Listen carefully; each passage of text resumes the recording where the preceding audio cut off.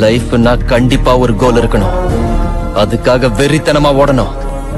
படிக்கிறதா இருந்தா வெறியோட படிக்கணும் விளையாட்டா இருந்தாலும் வெறியோட விளையாடணும். லைஃப்ல எந்த எய்மும் இல்லாதவங்க மட்டும் முடிஞ்ச வரைக்கும் சீக்கிரம் செத்து போயிடுங்க. உங்களால எங்களுக்கு எந்த பிரயோஜனமும் இல்ல. ஞாபகம் வச்சுக்கோ. உன்னை விட கொம்பன் எவனும் இங்க இல்ல. உனக்கு என்ன தோணுதோ அதை செய். எவன் பேச்சையும் கேட்காத மனுஷன் பேச்ச கேட்கவே கேட்காத.